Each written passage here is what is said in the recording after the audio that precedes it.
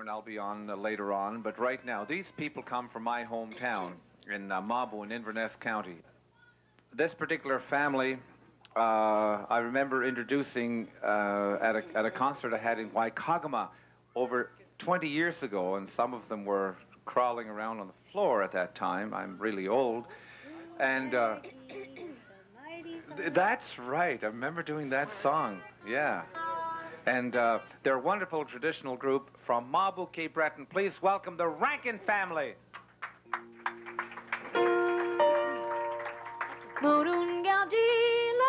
Gilas, gilas, morun galgilas, noch hanut yagul sound galgilas, gilas, gilas, morun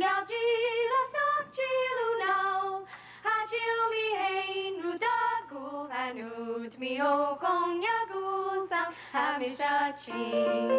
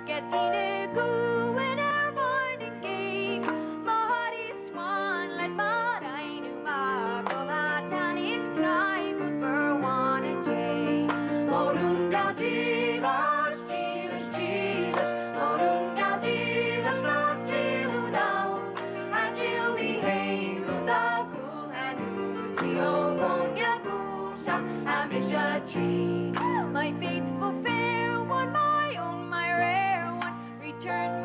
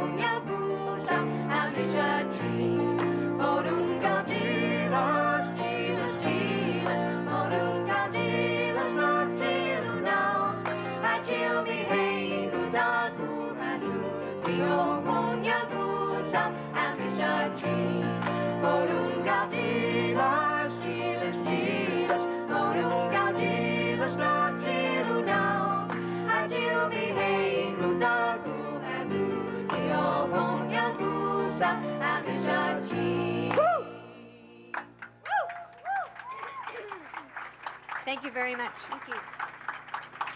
That's um, sung in the language of Gaelic. Scottish Gaelic and And it means my faithful fair one. We're gonna do uh, an original Rankin tune now, written by my brother Jimmy, and it's called "The Fisherman's Son." Going out to all the fishermen back home, fixing their nets and their traps.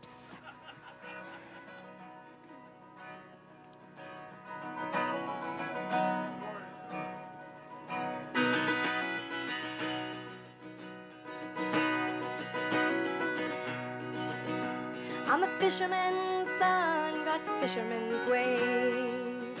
I fished with my father in my young days. I learned the fine craft of the fisherman's trade, just to pass to my son, so he'll do the same.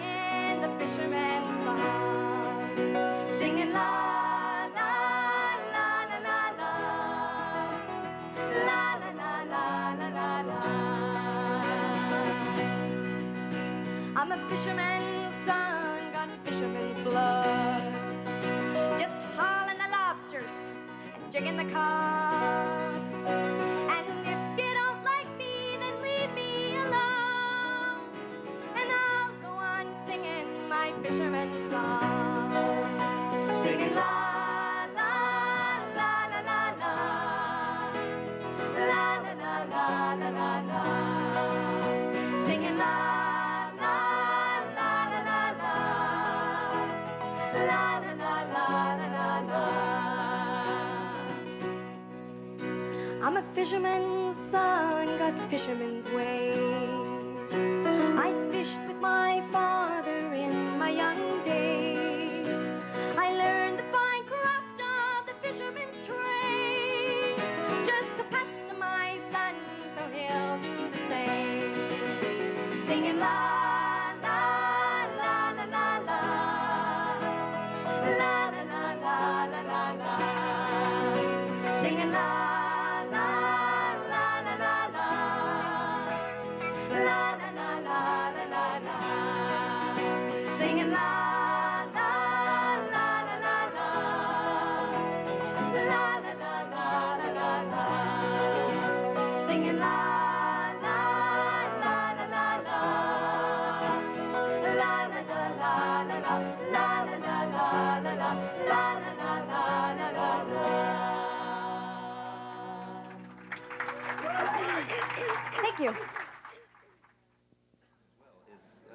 Gaelic sort of just preserved in the songs? Is it still sort of a functional language?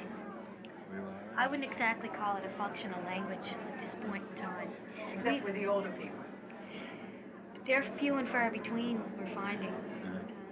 There, there's a number of people here in the Boston area for whom it's still Well, a functional surprisingly enough, you find it more in isolated spots like Boston than you do. uh, or, uh, like, there's a language. south, Culturally, there's for the Gaels, it's a, not, Boston's an Uh-huh. isolated Uh-huh, spot. yeah. and I don't mean that negatively. No, I mean no. that there's a, uh, there's a group of Cape Bretoners who would have immigrated to Boston, what, 50 or 60 years Uh-huh. ago? And they have preserved their language because that was, that was one of the bonds that kept And they them together. they keep in touch among themselves. Yeah, the yeah, but I don't know if that was a bond necessarily in Cape Breton. In fact, a number of years ago, try was hard to- discouraged. To keep, Uh-huh. to keep your cultural identity alive when you are away, you're right. Yes, I, I would agree with that. So You it's people more were trying to- your home. Yeah, maybe. People were really trying to push sort of a, a trans-Canada identity.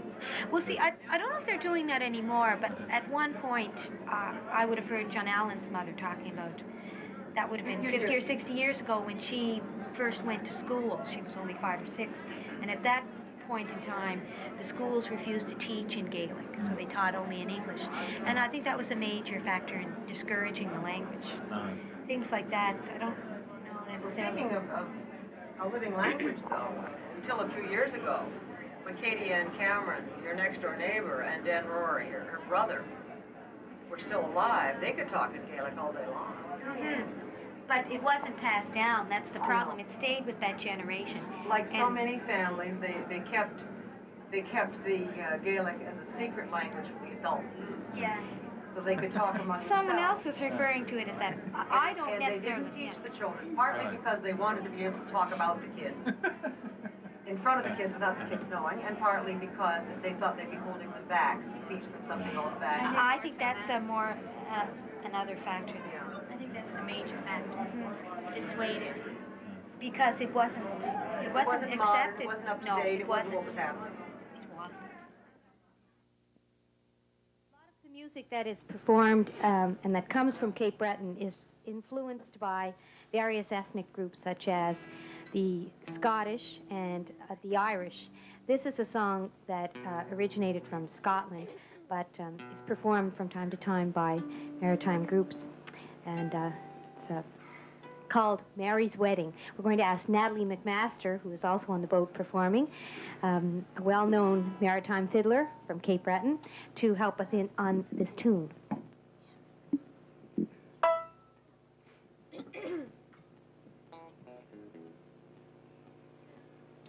Of course it's in my way, so just...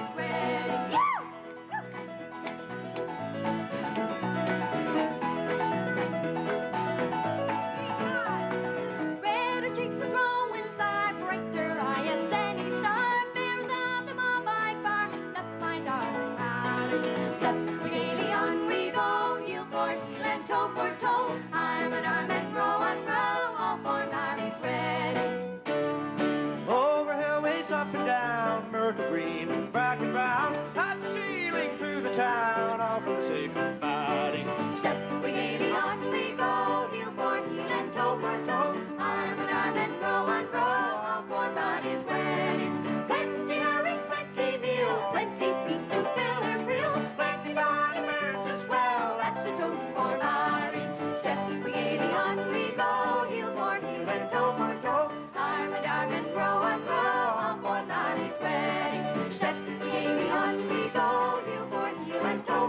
for toe, arm and arm and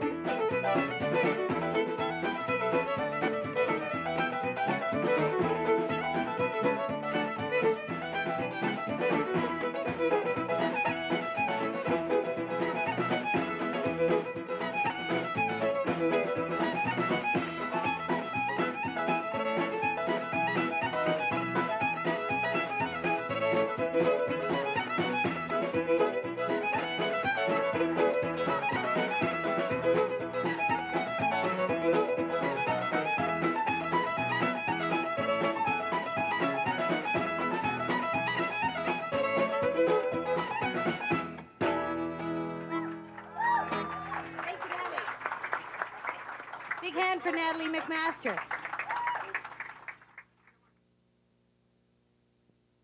Dancing, where did you pick that up? All of us have had various teachers. Uh-huh. Uh, I recall being taught in the Mabou Parish Hall by two different teachers. Uh, Mary Janet McDonald is her married name, uh, who hails from Cape Breton and is a renowned step dancer there, and also uh, the late Father Angus McDonnell. He was Angus Alec? yeah, Alec yeah. Uh, he was famous in Cape Breton and the Maritimes for his step dancing. But the girls have had various teachers, and a lot they've picked up on their own. Uh-huh. Is it something that you learn sort of like every kid would learn, like in fourth grade, or you have to sort of go out and say, I really want to learn this? You have to. I mean, you know, is it something you learn like? It if- depends you how know, good like you get want- arithmetic. When I was in third grade, everybody had to learn the tonette. you know, this little black plastic thing.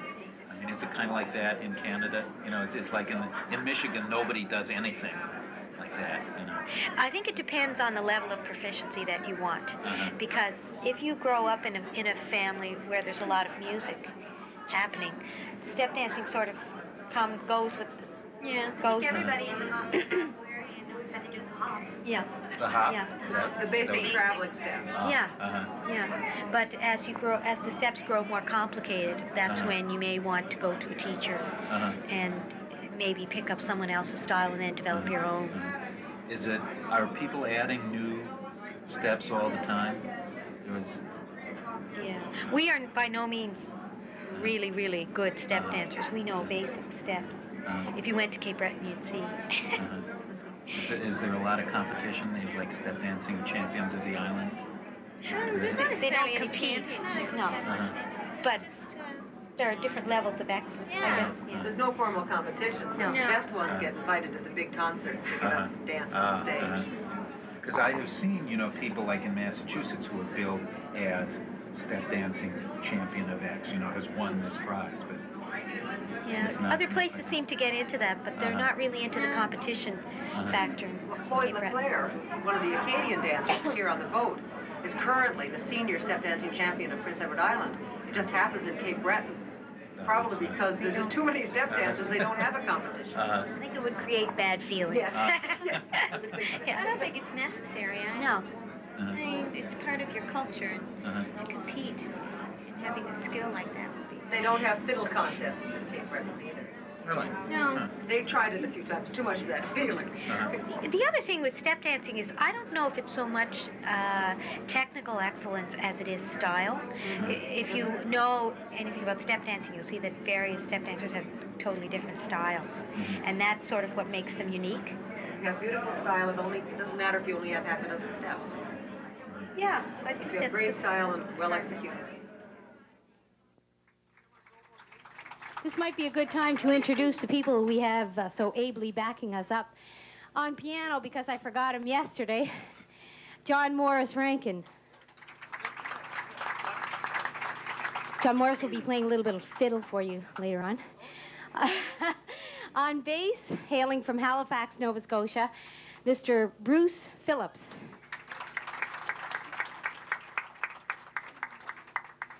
Playing a little bit of banjo, maybe not in this set, but later on. And electric and acoustic guitar, hailing from Halifax, also Mr. Scott Macmillan. Playing drums, guitar, backup and lead vocals, Mr. Jimmy Rankin.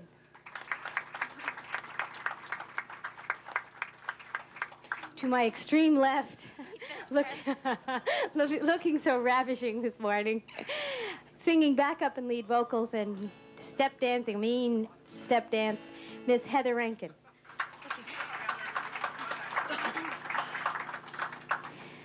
Standing right beside me, dressed in the ravishing pink, singing lead and backup vocals, Miss Cookie Carol Jean Rankin. And last but not least, the one and only, singing lead vocals, backup vocals, playing a mean tambourine, the one, the only, Raylene Rankin. kind of anticlimactic.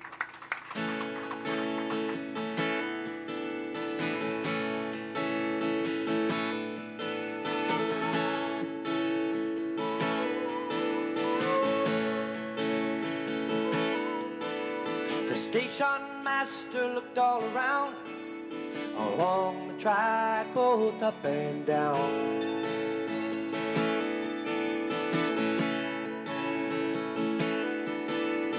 But the train could not be found, for there was neither sight nor sound. There was neither sight nor sound.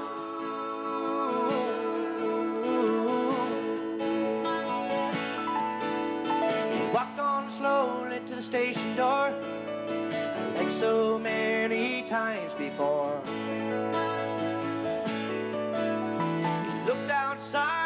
Sunshine beam, closed his eyes and dreamed a dream, drifted off into a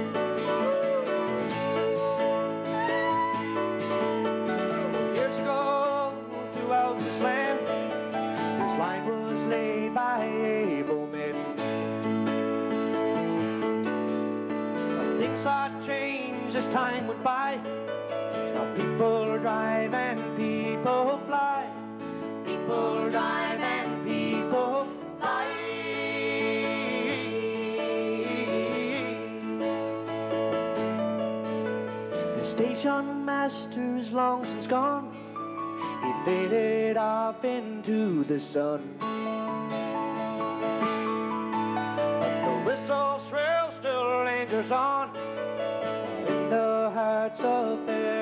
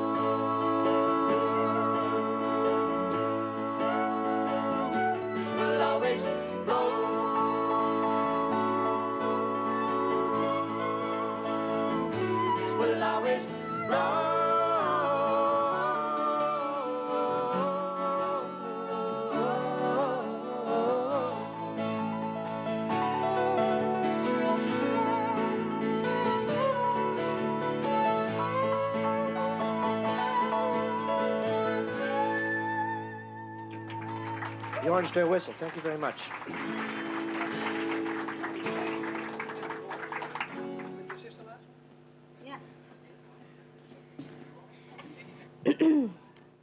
Well, we've sort of approached the end of this set. We're going to do um, a medley of fiddle tunes that are that we put words to and diddly dums to. Uh, some of the tunes included in the medley are the Old King's Reel, the King's Reel. Wasn't one of the tunes. Jimi Hendrix Brass Bass. Yeah. The Bonniest Lass in All the World. And a couple of other ones that I'm sure all of you will recognize by name. It's called the Jigging Medley.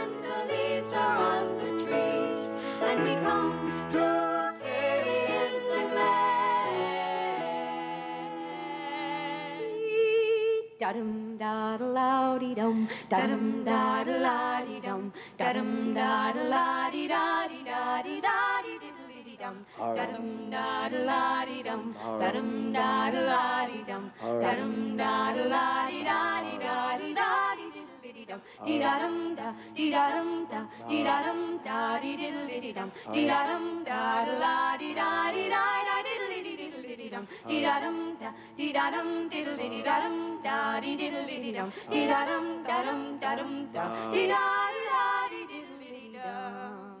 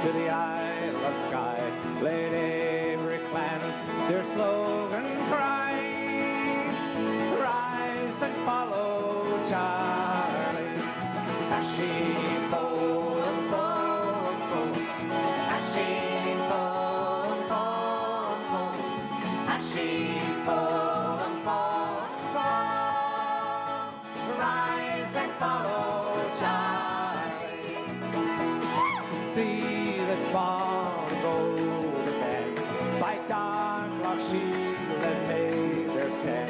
And bravely fight with heart and hand to rise and follow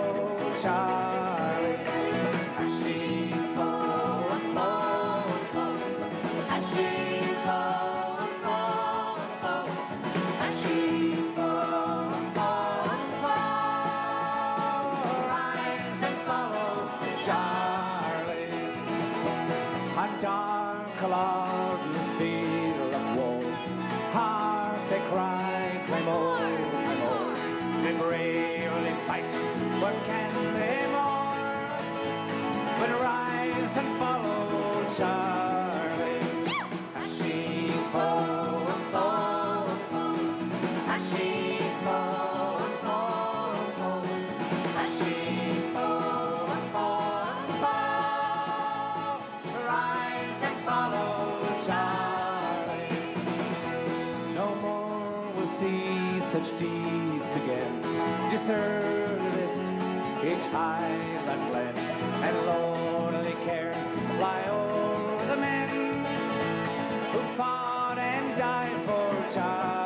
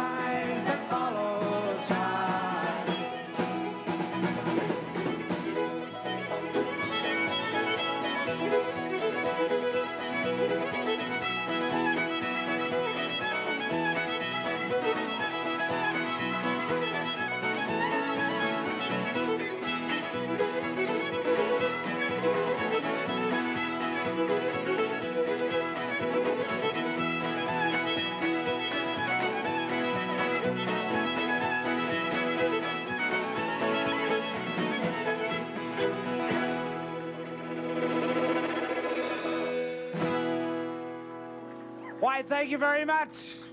And good afternoon, everybody. How is everybody in pretty good mood? Well, we'll take care of that. My name is John Allen Cameron. As I told everybody this morning, there were about three people in here at 9.30 this morning. Oh, my God, was it ever lonely up here. It really was. That song was called Sound the Pibroch. Uh, it, it's from the life and times of Bonnie, Bonnie Prince Charlie. It's uh, 200 years old, this is a contemporary song. It was written again by a friend of mine from Cape Breton, Allister MacGillivray. He wrote a, a, a, lovely song. They'll do song for the Mira again. That's going to come up later on. But he also wrote this song, and this is sort of a lovely up-tempo song because I'm sort of in the, in, sort of in the mood.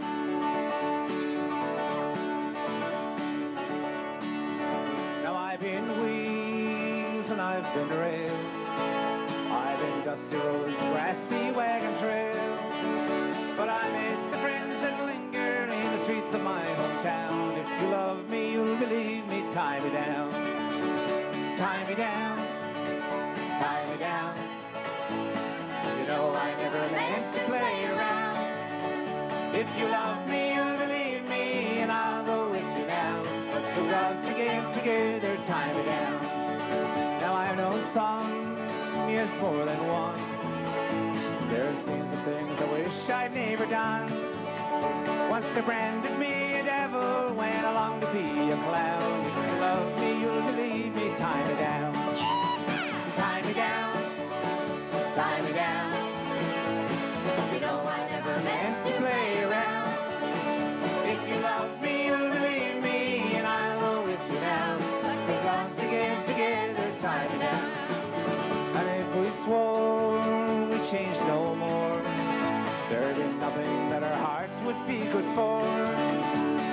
some consideration before you turn around.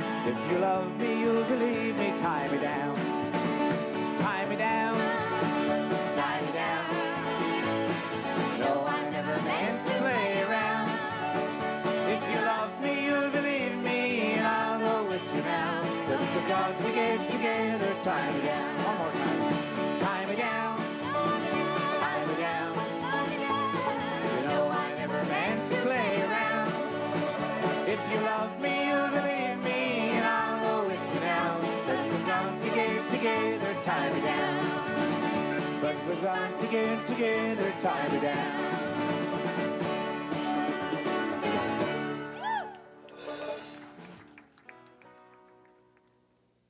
Who managed the uh, the uh, the Horseshoe Tavern, uh, called up some of his friends in, uh, in in Nashville, and he said, "This particular guy deserves to be on the Grand Ole Opry," and they respected him so you. much. Me, Meaning you, moi. yeah. He said, "There's this guy up here, and we'd like to get him on the Opry," and uh, and they took Jack's word because he was dealing with all the big acts from Nashville. So I went down there, drove down with Allister MacGillivray and David Eisner, and here we are backstage at the old Ryman Auditorium, the old. Uh, it, it was The, the sacred shrine. yeah, and at, at, at that time, uh, just across the street, uh, at, at that time, uh, David Allen Coe was driving an old hearse, and he was sitting on top of the hearse playing his guitar as the people were filing in to, uh, to hear the Opry. But, I mean, you have to start somewhere, and that was his way.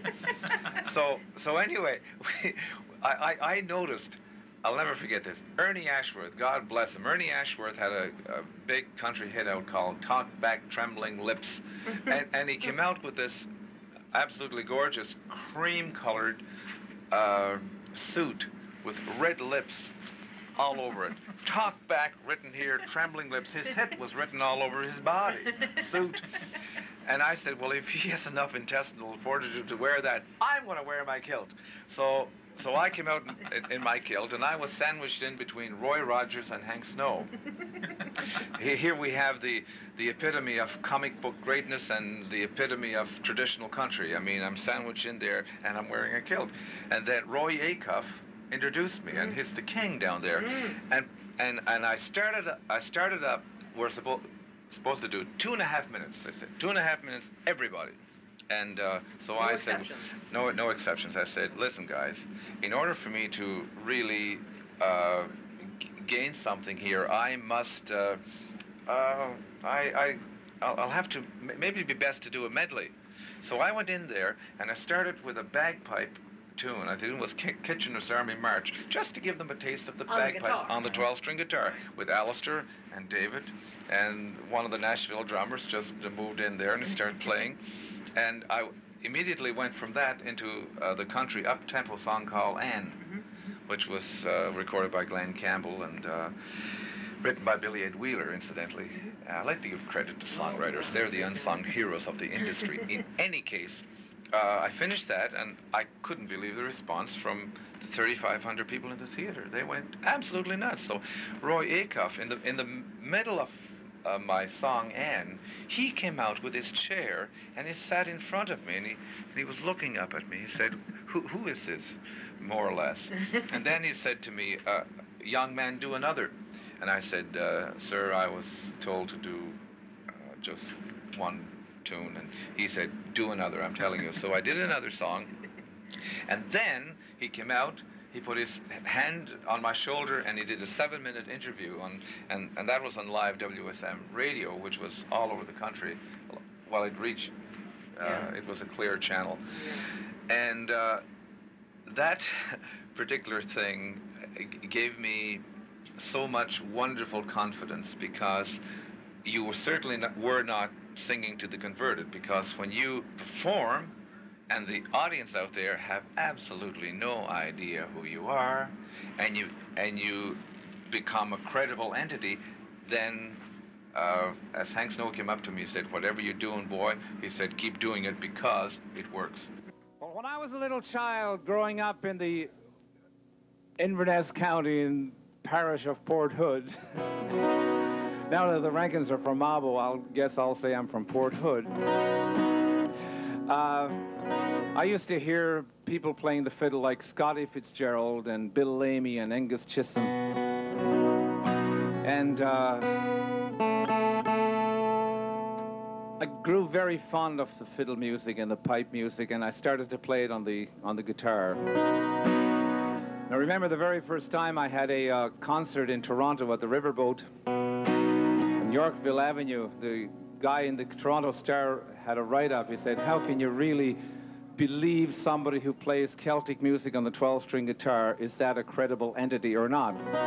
Well, I'm still around playing it, and that guy is long gone because traditional music, uh, because of its very longevity, means that people can certainly relate to, it for all times. In fact, all kinds of music. Anyway, this uh, tune called The Bonnie Lass of Bon Accord, uh, written a couple of hundred years ago by James Scott Skinner, and I'll put some jigs onto it.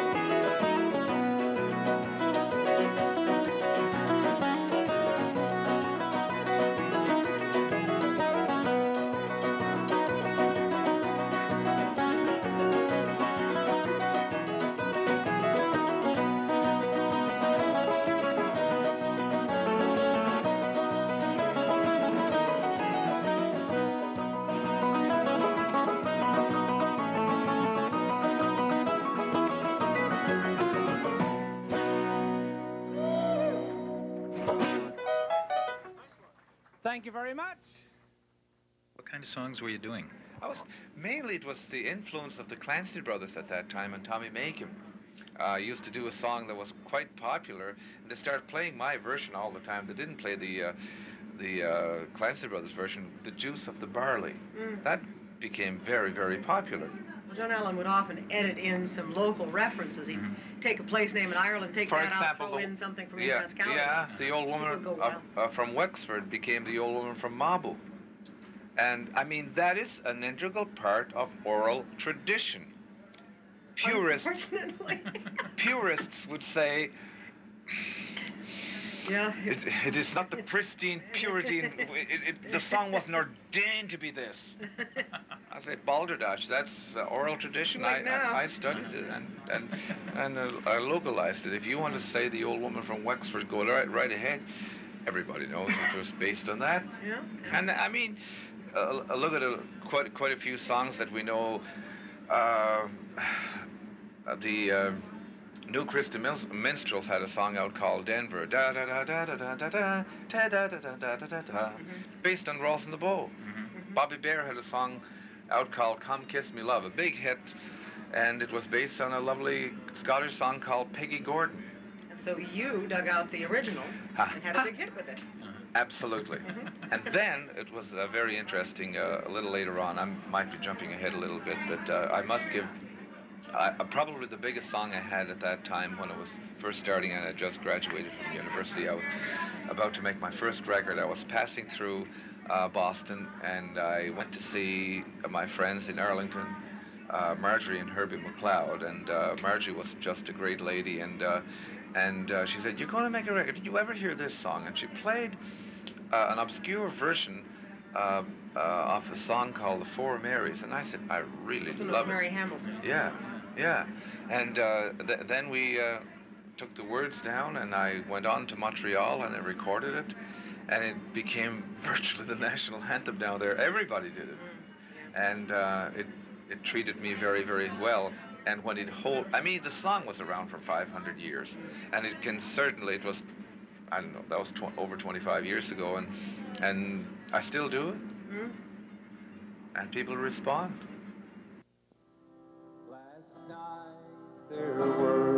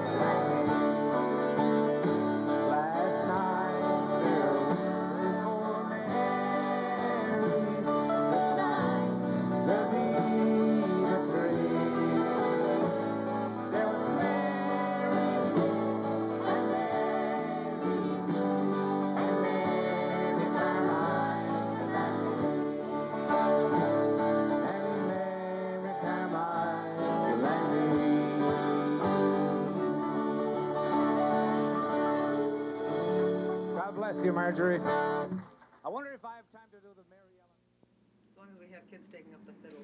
Oh yeah. Oh, that's We'll be all right. There's no problem about that. There was a bit of a scare a few years ago, but that's well taken care of, and um, I'm happy. I think I was in on the ground floor of Yeah. its revival, and uh, You've done a lot to help the youngsters come along. well, that's rather that's rather important. When when I had uh, later on in in in uh, in, in the mid '70s, I had a national television show which included Jerry Holland, Winston Scotty Fitzgerald, Angus Chisholm, and my brother John Donald, and uh, Wilfred Gillis, and and. Uh, and that's nice. And some, uh, I ha- had Ukrainian gr- dance groups. I had uh, uh, French Canadian dance groups, and I had Acadian dance groups, and uh, as uh, guests, and uh, and and that's important because there, we all should be proud of our heritage, mm.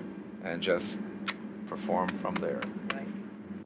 One, two, three.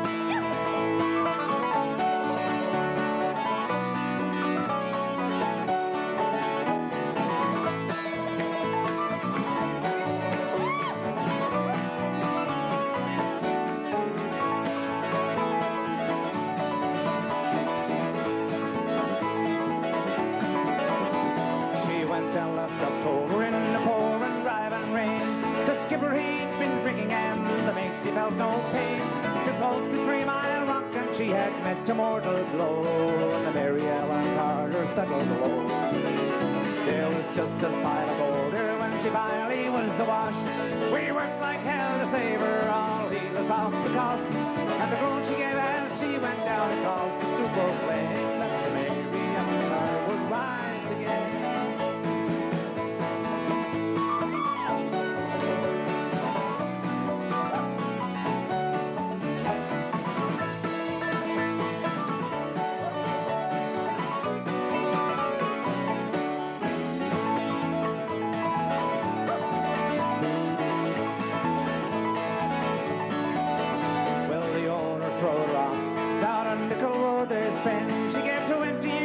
service, boys, and let her. But insurance paid the loss to us, so let her rest below. They laughed at us and said we had